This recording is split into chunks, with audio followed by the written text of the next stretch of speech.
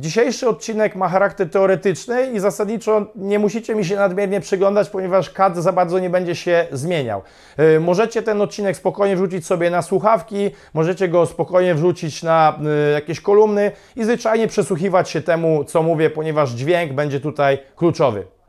Cześć, kłania się Marek Płoczyński. E, Dzisiaj trochę taki bardziej teoretyczny odcinek e, na temat tego, dlaczego powiedzmy odwiedzam swojego fizjoterapeutę, masażystę, chodzę do trenera, e, a cały czas mam jakiś problem z jakimś tam powracającym zapaleniem stawu, jakaś tam degeneracja mi się dzieje, leczę się przeróżnymi lekami i nic nie pomaga. Bardzo często nie chodzi, moi drodzy, o samą terapię, ale o wszystko, co się dzieje dookoła tej terapii. E, Stąd taki apel, żebyście wysłuchali ten film, jeżeli cierpicie na jakieś przewlekłe bóle, ponieważ to są oczywiste, banalne rzeczy, które bardzo często są zapominane i pomijane. E, Numer jeden, bardzo istotna rzecz, jeżeli chodzi o zdrowie stawów, to kwestia zasadnicza, czy pijecie odpowiednią ilość wody. Ciało każdego z nas y, składa się w, bardzo przeważającej ilości z wody, tam bodajże w 70 iluś e, procentach, żebym głupoty nie palnął. E, I ta woda jest zasadniczo podstawowym budulcem każdej jednej substancji, która e, znajduje się w naszym ciele. Stąd niedobory wody, deficyty wody będą kluczowe, jeżeli chodzi o degenerację chrząstek, będą kluczowe, jeżeli chodzi o właściwą produkcję mazi w naszych stawach. Taka podstawowa ilość wody, jaką powinniśmy wypijać dziennie, to około 30 ml na kilo masy ciała. Stąd jeżeli ja ważę 100 kg, powinienem wypijać około 3 litrów wody dziennie. I teraz dla części z Was może się okazać, że przeliczycie sobie, ważycie na przykład 70 kg, 2, 100 muszę wypić. Okazuje się, że wypijam litr wody dziennie i jestem napity, nie mam potrzeby, nie mam pragnienia. Y, Regularnie z tygodnia na tydzień trzeba zwiększać podaż wody o 200 ml około, tak żeby dojść do tej pożądanej wartości. Nie możecie z dnia na dzień zrobić rewolucji i pić tej wody w nadmiarze, ponieważ nadmiernie obciążycie nerki i będziecie zwyczajnie więcej siusiać, więc musicie stopniowo z dnia na dzień wcielać te większe ilości wody y, w swój własny organizm, a to już może zdecydowanie zaprocentować, jeżeli chodzi o dobre samopoczucie i lepszą funkcję stawów. Y, Druga bardzo istotna kwestia to sposób, w jaki oddychacie. Y, Oddech wpływa bezpośrednio na stan pobudzenia naszego organizmu. Wolny, swobodny oddech bardzo mocno znosi wrażenia bólowe, uspokaja nas i wprowadza nas w stan regeneracji. Jeżeli Twój oddech z jakiejś przyczyny jest szybki i bardzo płytki, jeżeli regularnie łapiesz zadyszki, jeżeli masz y, problem z wejściem na drugie piętro bez y, jakiejś tam, bez zatrzymania się i bez y, złapania jakiegoś tam mocnego zmęczenia, to coś niedobrego dzieje się z Twoim od, ładem oddechowym, a jeżeli w Twoim ciele, w Twoich komórkach są deficyty tlenu, to Twój organizm ciągle będzie w stanie walki i ucieczki. W tym stanie mm, organizm cały czas dąży do procesów katabolicznych, do procesów rozpadu, w których to nie może zajść od- odpowiednia regeneracja. Nieważne jak dobre ćwiczenia będziesz wykonywać, jak dobrą suplementację będziesz przyjmo- przyjmować, jak dobry terapeuta będzie Cię naprawiał, jeżeli Twoje ciało ciągle jest w stanie walcz albo uciekaj, w stanie notorycznego pobudzenia, nie ma mowy, żeby naprawić jakikolwiek staw. Mało tego, jeżeli chodzi też o oddech, to ważny jest sam wzorzec oddechowy. Jeżeli masz tendencję do nadmiernego zadzierania barków, kiedy wykonujesz głęboki wdech, albo masz zablokowany odcinek kręgosłupa piersiowego, albo podczas oddechu twój brzuch nadmiernie wylewa się ku przodowi, podczas wdechu szczególnie, to może też doprowadzić do przeciążenia kręgosłupa. Więc musimy pamiętać o tym, żeby oddychać wolno, spokojnie, miarowo. Tutaj super jest metoda Butejko chociażby, e, jeżeli chodzi o e, naukę i reedukację tego oddechu. Sprawa numer dwa, to tak jak już Wam powiedziałem, wzorce oddechowe, zadbanie o to, żeby żebra na każdym poziomie i z przodu, i z tyłu, i z boku odpowiednio się przemieszczały, żeby wszystkie stawy funkcjonowały bez zablokowań, bez restrykcji i, i wtedy ten czynnik oddechowy też będzie wykluczony jako e, kwestia Waszego złego samopoczucia. Sprawa numer trzy to ergonomia, czyli sposób, w jaki na co dzień funkcjonujecie. E, Bardzo często wyrabiamy sobie takie trochę dziwne, wręcz absurdalne nawyki ruchowe albo nawyki e, przesiadywania w jakiejś jednej bardzo niezdrowej pozycji, e, które te pozycje bardzo destrukcyjnie wpływają na nasze ciało. Banalny przykład chociażby siedzenie w, w taki sposób za biurkiem komputera, gdzie jestem oparty i jakoś dziwny sposób wywalony.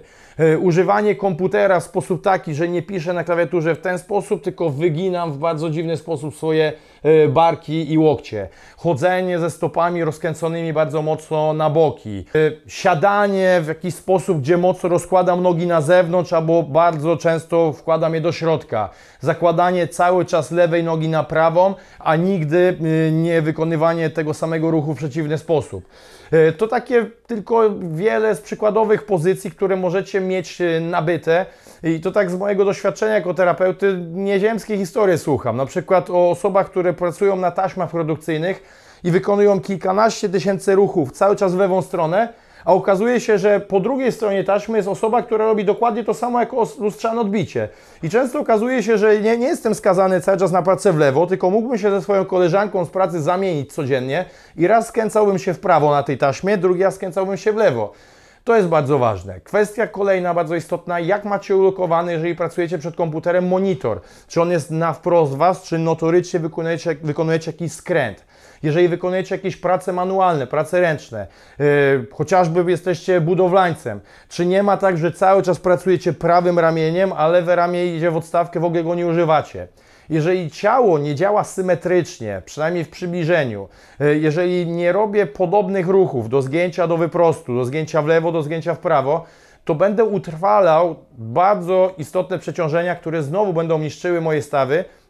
I teraz, moi drodzy, nie ma żadnego znaczenia, czy odbędziecie 50 masaży, czy 150 masaży. Masaż na przykład u terapeuty trwa godzinę, a Wy przez 8 godzin wykonujecie antymasaż, w którym y, poprawiacie jakieś, wykonujecie jakieś złe czynności, złe wzorce. Jeżeli nie będziecie świadomi tego, że musicie po takim masażu chodzić wyprostowani, dbać o odpowiednią postawę ciała, nic dobrego się nie stanie. Więc ergonomia jest również szalenie ważna, szalenie istotna. Kwestia numer cztery to czy masz odpowiednią ilość e, ruchu. I nie chodzi tutaj o bicie rekordu świata w maratonie, czy jakieś podnoszenie skrajnych obciążeń, Chodzi o fundamentalną e, ilość ruchu, jaką jest wykonanie około 10 tysięcy kroków dziennie, albo co najmniej wykonania substytutu tej pracy poprzez e, trening w siłowni, e, bądź poprzez jogging, poprzez jazdę na rowerze. Ale co jest istotne, każdy z naszych stawów w naszym ciele ma pewien y, swój swoisty schemat ruchów, które muszą być wykonywane, żeby ten staw był zdrowy. Jeżeli mam staw ramienny, którego zadaniem na co dzień jest wykonywanie pełnego wyprostu, zgięcia, odwiedzenia, przywiedzenia i rotacji, a ja będę korzystał ze swojego stawu tylko w taki sposób, będę pracował jakby w takim małym pudełku, musi, musi dojść do przeciążeń y, w jego strukturze. Stąd w zasadzie to, co jest najważniejsze dla zdrowia naszych stawów, to taka banalna szkolna gimnastyka, w której codziennie powinniście wykonać trochę krężeń biodrami, wykonać trochę delikatnych skłonów, wyprostów, skrętów głowy, y, rotacji. Bardzo proste rzeczy, które każde, każde z Was już od dziecka zna, ale coś, co jest proste i powszechne, wydaje nam się durne i niepotrzebne. Stąd wolimy zawierzać swoje zdrowie systemom komputerowym, drogim maszynom, a tak naprawdę wystarczy często taki elementarny ruch w postaci chodu, e, w postaci prostej gimnastyki i to już zdecydowanie poprawi Wasze samopoczucie, nieważne jak mocno są chore i zdegenerowane Wasze stawy. E, ostatni taki filar, na który chciałbym postawić akcent, to dieta. Mm, truizmem jest, że jesteśmy tym, co jemy, ale nie jest oczywiście inaczej nadmiar mięsa, nadmiar przetworzonych y, potraw, przede wszystkim okraszonych całą masą niestrawialnych dla naszego ciała konserwantów, cukier. Y, to substancje, które będą gromadziły się w naszym ciele w postaci złogów, w postaci przeróżnych soli, będą odkładane w tkance miękkiej, czyli przede wszystkim y, w tkance łącznej, przepraszam, czyli w ścięgnach, w chrząstkach, w łąkotkach i będą coraz powodowały, że nasze stawy sztywnieją, czujemy się coraz gorzej. Szczególnie ten cukier, Wyobraźcie sobie jedną rzecz, że jecie kawałek czekolady i kapnie Wam ten kawałek czekolady chociażby na tapicerkę w samochodzie albo na tapicerkę w Waszej kanapie. Co się stanie, że jest gorąco? Robi się taka skorupa, taka plama w zasadzie nie do wyczyszczenia, nie do zmycia. I wyobraźcie sobie, że w Waszych jelitach dzieje się dokładnie to samo, w Waszych stawach dzieje się dokładnie to samo.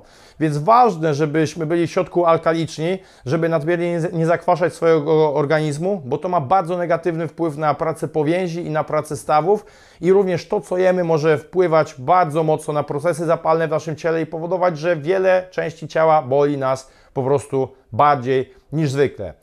Można by dodać jeszcze wiele takich filarów, y, oprócz tych, o których mówiłem, czyli picie wody, y, oddychanie, delikatny ruch, ergono, ergonomia pracy, dieta. Tutaj oczywiście szalenie jest ważny stres, szalenie ważne są nasze relacje z innymi ludźmi, ponieważ y, wiele emocji, które gromadzą, gromadzą się w naszym ciele, wywierają fundamentalny wpływ na naszą postawę, a daje też na zdrowie stawów. Ale jeżeli zwrócicie uwagę chociażby na te pięć rzeczy, o których Wam mówię i wykluczycie po jednej małej takiej niby pierdółce, która psuje Wam Wasze zdrowie, zobaczycie, że postęp będzie radykalny, postęp będzie bardzo duży i przyjdzie bardzo szybko.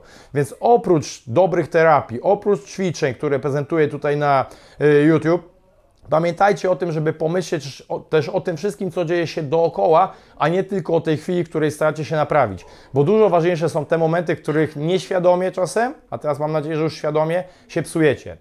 Stąd dbajcie o siebie nie tylko kiedy ćwiczycie, ale na co dzień. Pilnujcie tego, co jecie, pilnujcie jak pijecie, pilnujcie jak oddychacie. Wtedy wasze zdrowie będzie dużo lepsze. Dzięki za oglądanie tego odcinka, dziękuję za subskrypcję. Pozdrawiam, Marek Płoczyński.